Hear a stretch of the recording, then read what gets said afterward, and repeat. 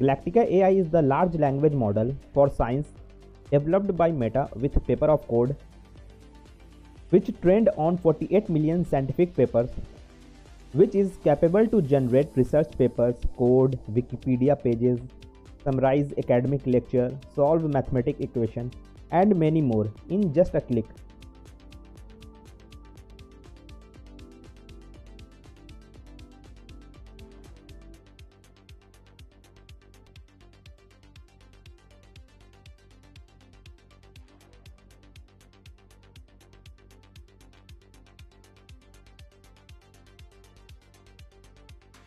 However, just two days after the release, Meta take it down due to the controversy. Check out the description for detailed video.